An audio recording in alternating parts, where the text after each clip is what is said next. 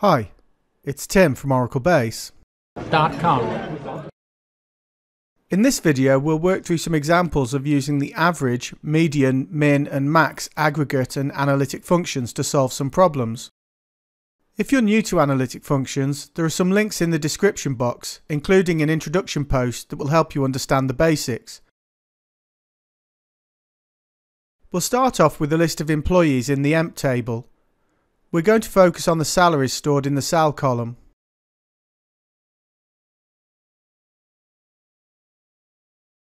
The AVG or average function gives us the mean value for a set.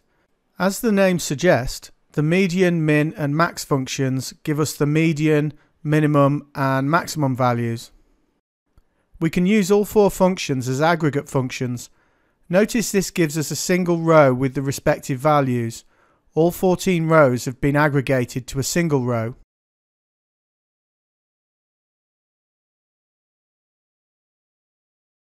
By adding the department number column to the select list and including it in a group by clause, we limit the aggregate function scope to the department level.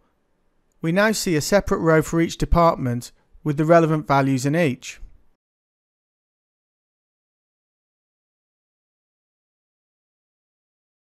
If you want to combine the aggregated data with raw data, then you should use analytic functions instead. Here we add an empty over clause into each function call, turning them into analytic functions. Notice we also have regular columns in the select list. When we run this, we can see the raw data as well as the aggregated values for the whole set.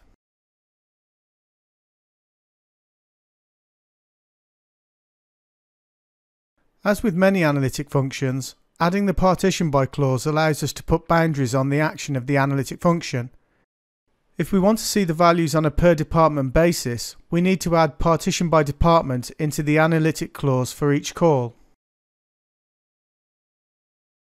Now we see the raw data along with the aggregated data for each department.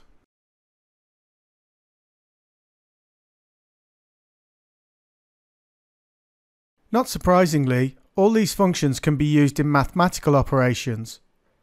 In this example, as well as displaying the minimum salary in each department, we subtract it from the current salary to show the difference. As expected, we see the current salary, minimum salary in the department and the difference between the two.